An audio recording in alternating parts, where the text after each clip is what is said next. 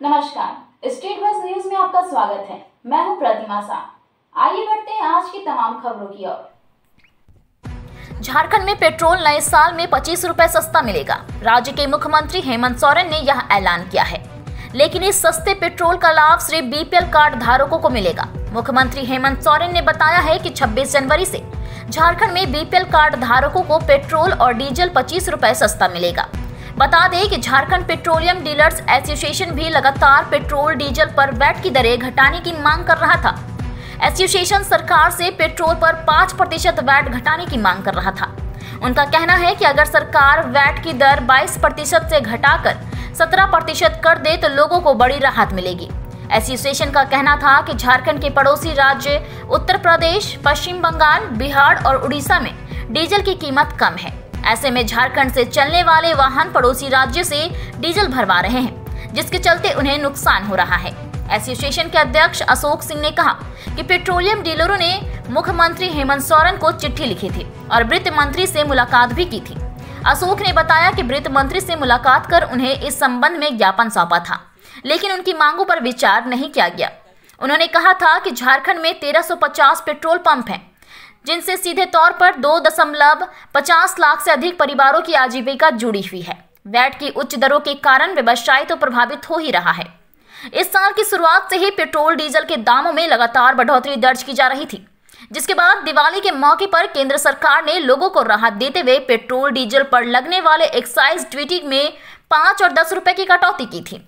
केंद्र ने पेट्रोल पर प्रति लीटर पाँच रुपए और डीजल पर प्रति लीटर दस रुपए एक्साइज ड्यूटी कम कर दी थी, जिसके बाद देश भर में तेल की कीमतों में काफ़ी गिरावट आ गई थी। वहीं केंद्र के फैसले के बाद एनडीए शासित विभिन्न राज्यों ने भी अपने यहाँ पेट्रोल, डीजल पर लगने वाले वैट में कटौती कर दी थी। वहीं हाल ही में दिल्ली में केजरीवाल सरकार ने भी पेट्रोल से वैट कम कर दिया है। पेट्रोल और डीजल डीजल की जो दाम आसमान छू रही है इसका बुरा असर गरीब और मध्यम वर्गीय छोटे मनोरे के ऊपर जो पड़ रहा है। और जो बड़ी बड़ी पत्रकारों में घूम रहा है, उसकी तो चिंता नहीं है। उसको तो खैर सौ पचास रुपया जेब से निकल के गया तो कोई फ़र्क नहीं पड़ता। लेकिन जो छोटे छोटे जो स्कूल, कॉलेज, ग्रामीण क्षेत्र के जो मोटरसाइकिल में भी आप पेट्रोल में आधा पेट्रोल, आधा किरासन डालते और नतीजा कुछ दिन के बाद गाड़ी खत्म होने के कगार में आ जाती है। इसलिए हम लोगों ने, हमने ये निर्णय लिया है कि लोग को इस समस्या से निजात दिलाने के लिए मोटरसाइकिल पेट्रोल पर।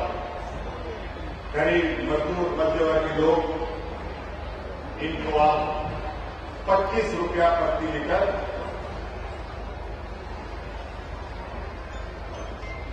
उनको राहत देने का घोषणा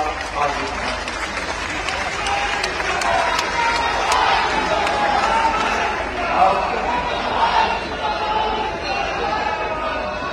ये 26 जनवरी से ये हमने बहुत कम वक्त से लेने इसको हमने लिया। और इसका लाभ हम लोगों, हम लोग 26 जनवरी से इस राज्य के लोगों को देना चाह रहे हैं। ऐसे ही तमाम खबरों के लिए स्टेट बस के यूट्यूब चैनल को लाइक और सब्सक्राइब करना ना भूलें। धन्यवाद।